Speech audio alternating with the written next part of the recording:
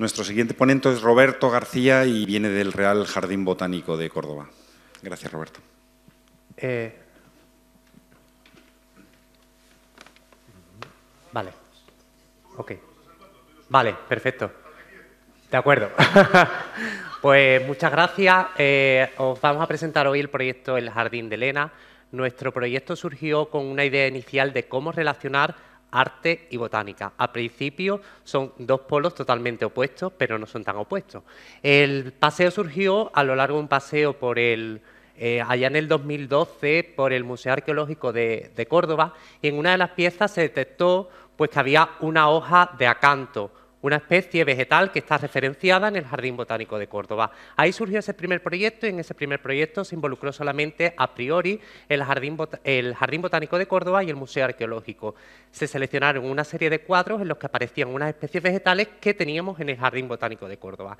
En ese primer momento, allá por el 2012, aquello era 1.0, es decir, estudiamos el cuadro, vemos las especies vegetales y ponemos un cartelito en el jardín botánico y otro cartelito en el, en el museo arqueológico.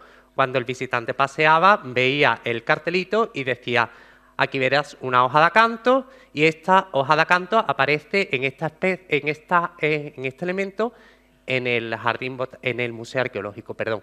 Posteriormente eh, se involucraron también el Museo de Bellas Artes de Córdoba y el Yacimiento Arqueológico de Medina Zahara. Eso como os decía, era el 1.0, es decir, colocamos un cartel en el punto eh, concreto en el Jardín Botánico de Córdoba y en los museos.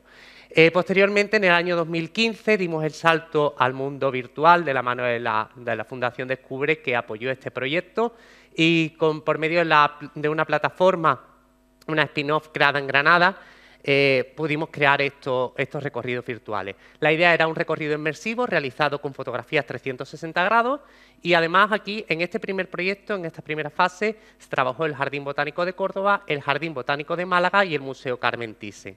Posteriormente, en 2016, vimos que el proyecto había resultado muy bonito y lo decidimos ampliar, retomando esa idea inicial del año 2012, es decir, en Córdoba, el Museo Arqueológico de Córdoba el Museo de Bellas Artes y el Yacimiento de Medina Zahara, en Málaga, el museo, eh, la colección perdón, del Museo Ruso de San Petersburgo y los Jardines Botánicos de Córdoba y Málaga.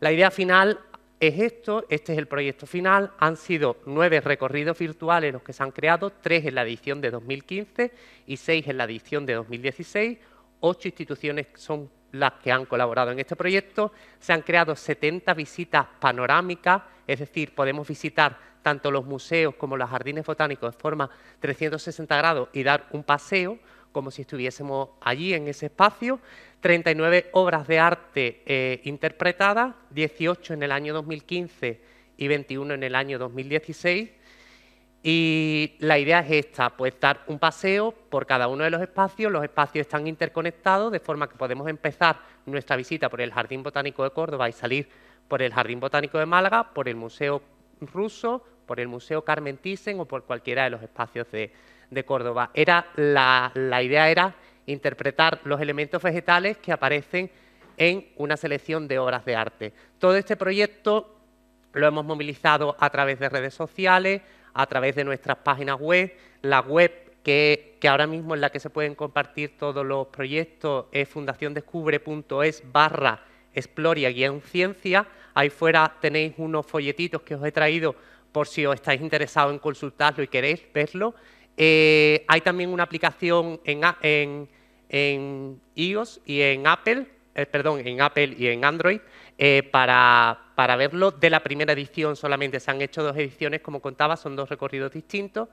Y, bueno, la verdad es que el resultado está, nuestro jardín de Elena está floreciendo, nunca mejor dicho, ¿no? Estamos creando y están creciendo nuestras especies vegetales en las obras. Eh, son más de 10.000 visitas ya las que hemos tenido en la, en la parte online, 160.000 visitas presenciales, puesto que estamos teniendo en cuenta que seguimos teniendo ese punto 1.0, es decir, los visitantes de los jardines botánicos y de los museos cuando van allí ven eh, o bien el cartel o bien un elemento que hace referencia a ese proyecto, eh, con lo cual también tenemos la, la dualidad de que tenemos visitantes virtuales y visitantes presenciales. El proyecto creo que merece la pena, es una, una pasada porque es totalmente inmersivo y, es un poco fuera de lo común en el sentido eh, que no es un recorrido virtual al uso, también tiene la posibilidad de consultarlo en inglés. El segundo, la segunda edición, la primera edición no está traducida al inglés. Hemos ido mejorando poco a poco eh, cada uno de los recorridos. La segunda está en inglés y sí que tiene también eh, audiciones que van acompañando a cada uno de los recorridos.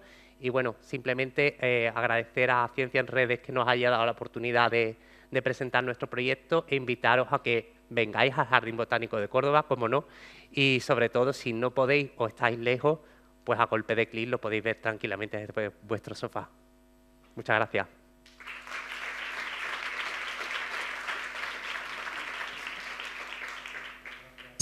Gracias, Roberto.